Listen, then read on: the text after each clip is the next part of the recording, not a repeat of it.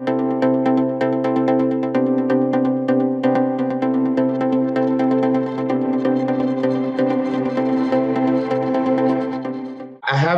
but but obviously there there there you know the the argument that was always put out is that there was a land without a people for a people without a land you know? Right. We yeah. were taught that. Yeah. i was taught that. My grandparents were taught that. I really do believe and i've said this before that if my grandparents and great grandparents knew what was mm-hmm. really going on, mm-hmm. that they would not have been okay with it. And in fact, most Jews were not okay with it until right. post Holocaust, which of course we know the Zionists capitalized on that.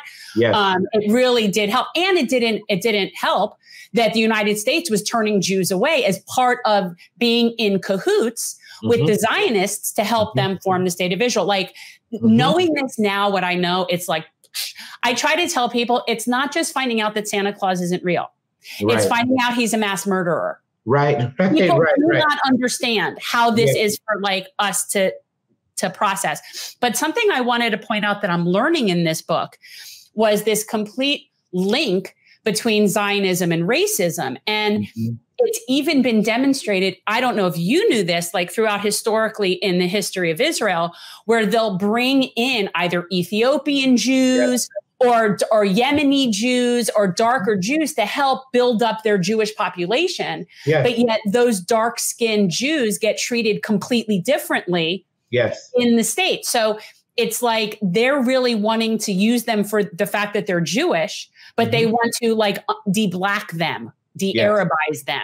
Yes. Well, well, um, I had a, and obviously I would never, ever, ever you know, I know that the the understanding as a young Jewish person that you were given the education about Israel was extreme, but I had a similar kind of mind blown moment as yeah. a person. Um, I grew up. Uh, I'm a Christian. I grew up a Christian. I'm not anymore, but I grew up a Christian, and uh, so we grew up with a great reverence for Israel.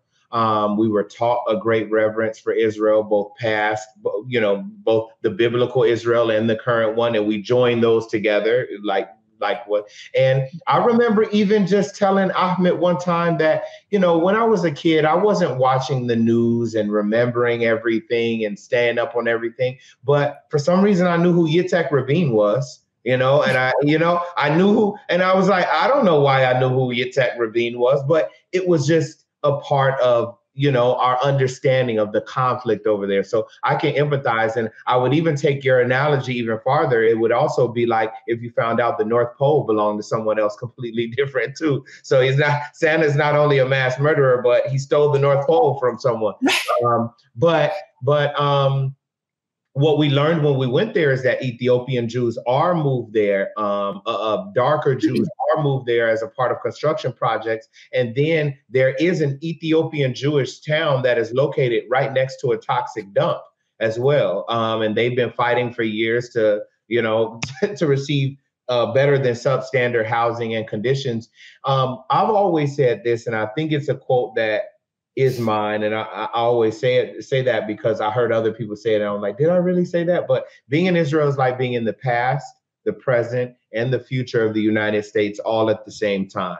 So you see, you you see different, you know, as a black person, and, and we did delegations with native folks from the US as well. And so they their perception of Israel as a settler colonial state was you know but as a black person going there and seeing the checkpoints seeing um, how how lowly palestinians are treated and also darker skinned jews are treated.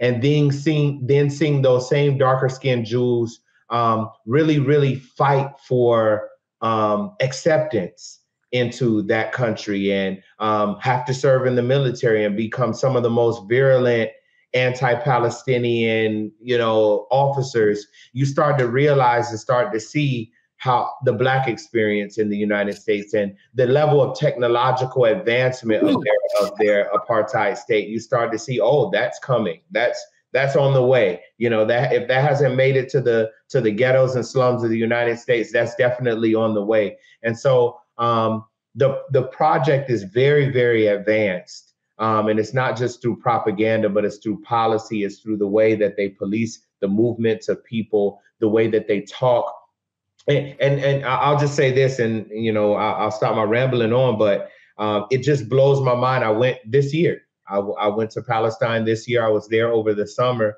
and uh, this was my third time there. And uh, every time I go, I believe that I've uh, now come to a point where I've understood what's happening, and so nothing will surprise me.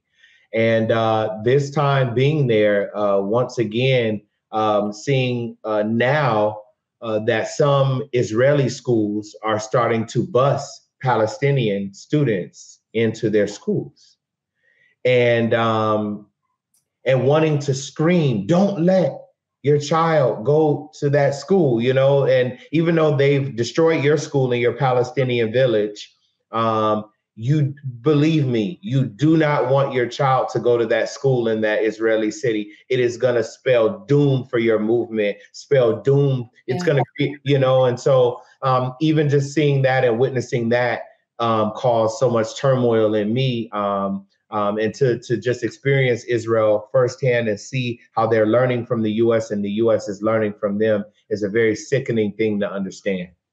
Yeah. I mean, make no mistake, they're us they're an arm of us. Like we're it's all just the empire, right? Like I mean, yeah. they're us and how they treat the natives. And I want to like one of the key things for me that is so important about this is completely detangling Judaism from Zionism. Please. And and uh, and that's something that a lot of people don't. Now, I actually think that the crap that Kanye was saying, and I don't even know the other basketball guy, whatever, that to me actually does sound kind of anti-Semitic.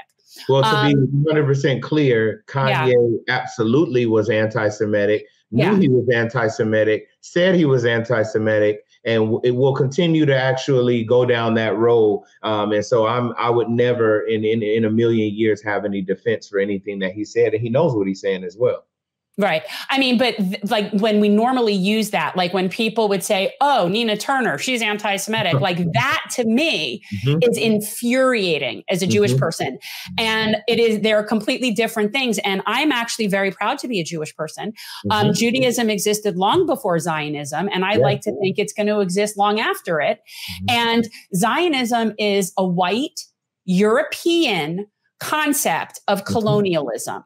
Yes. And I people need to understand that because there were, and this fascinates people. There's Palestinian Jews. Oh yeah, there are Palestinian Jews. I know it's crazy, yes. and they were displaced, and they are treated as lesser, mm-hmm. and they are not given the same type of privileges that the Ashkenazi Jews, the white Jews from mm-hmm. Europe that settled there, are given. So, like Zionism is a form of white supremacy. Mm-hmm. And the, the sooner that people understand that, the better off we are. And it is nothing to do with being Jewish.